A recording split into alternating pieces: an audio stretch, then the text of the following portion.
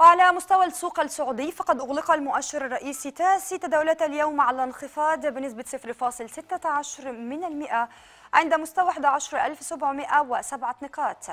تداولات بلغت قيمتها الإجمالية 7 مليارات ريال فاصل 696 مليون. وجاء سهم شركة الموارد القوى البشرية في صدارة الأسهم الأكثر ارتفاعاً. بنسبة بلغت 9.98 ليغلق عند 130 ريالاً.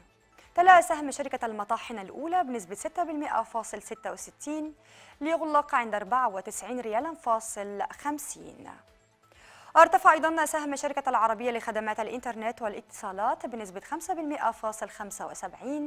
عند 375 ريالا. بينما تصدر سهم شركة فتيح القابضة قائمة الأسهم الأكثر انخفاضا نسبة 4% فاصل 48 عند 41 ريالا فاصل 25